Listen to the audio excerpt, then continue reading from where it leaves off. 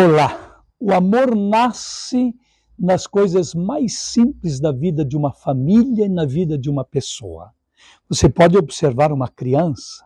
Nesses dias, com a procissão de Nossa Senhora Aparecida, quem corria na estrada ao encontro do carro onde eu estava com a imagem de Nossa Senhora Aparecida era uma criança. E quando ela chegou perto do carro onde eu estava com a imagem da Mãe Aparecida, a criança mostrava nas suas mãozinhas a pequena imagem de Nossa Senhora Aparecida.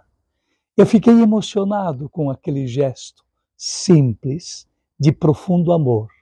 Por isso, nas coisas mais simples, você encontra o verdadeiro e sincero amor.